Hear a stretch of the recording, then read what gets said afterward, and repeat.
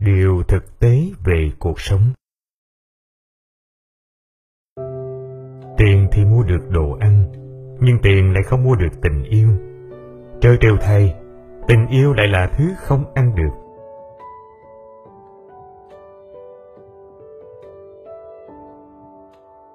Người giàu chưa chắc đã sung sướng nhưng người nghèo chắc chắn khổ tiền không cho bạn tất cả, nhưng cho bạn được nhiều thứ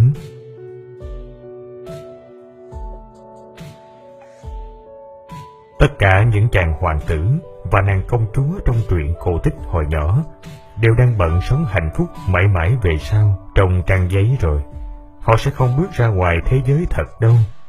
Thế nên là ảo tưởng ít thôi. Ngay cả khi bạn nỗ lực nhất, sẽ vẫn luôn có những người khác nỗ lực hơn cả thế. Sự nỗ lực không bao giờ là đủ, là nhiều. Thế nên, Đừng bao giờ ngừng cố gắng trong bất cứ chuyện gì. Tôi không nói bạn nỗ lực rồi sẽ thành công, nhưng muốn thành công, bạn bắt buộc phải nỗ lực. Đừng nói rằng ai đó may mắn khi họ thành công, khi bạn không hề biết câu chuyện của họ.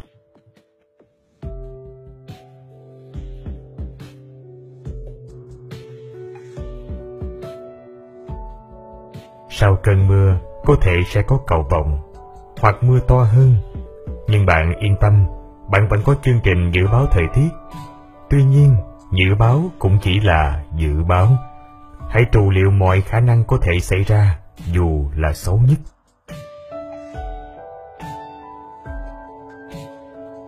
Càng lớn lên lại càng thấy mình nhỏ bé.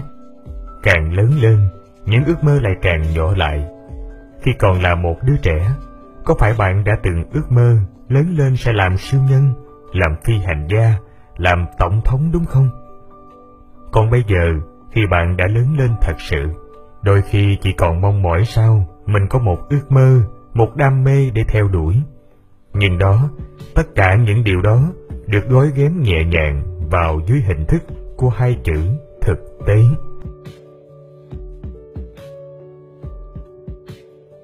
Tất cả mọi người đều có những câu chuyện của riêng mình, đều có những nỗi buồn, những lo lắng. Không dưới cách này thì cách khác. Bạn không phải là người duy nhất, tôi không phải người duy nhất. Thế nên, có thể thôi ngay cái suy tưởng rằng mình là kẻ bất hạnh, xui xẻo mỗi khi gặp vấn đề gì đi.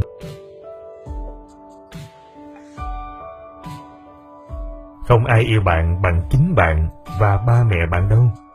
Có lẽ bạn đã nghe câu này vài ngàn lần rồi. Nhưng đừng đặt niềm tin tuyệt đối vào một ai đó, không phải bản thân hay ba mẹ mình.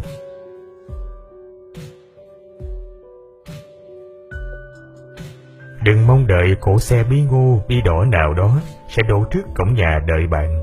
Hãy kiếm tiền và tự mua cho mình một cái xe, xe đạp, xe máy, xe hơi, miễn là bạn tự làm ra nó. Vì trông đẹp vậy thôi chứ xe bi ngô có lẽ cũng sốc lắm.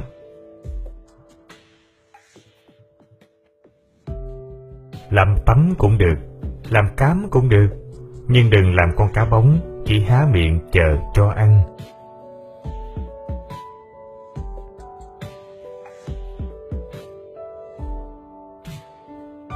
Đừng cảm thấy buồn nếu bạn sinh ra không phải là con của tỷ phú.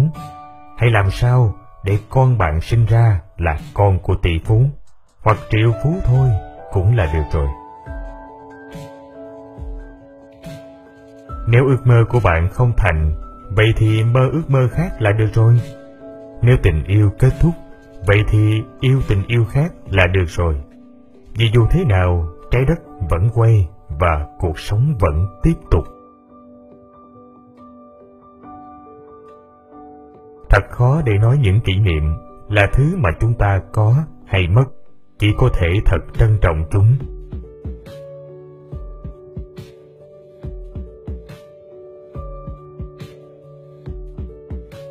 Pháo hoa lấp lánh rực rỡ là vậy, nhưng rồi sẽ tan ngay đi. Nhưng ít nhất, thà một lần được tỏa sáng, còn hơn mãi vô hình trong bóng tối.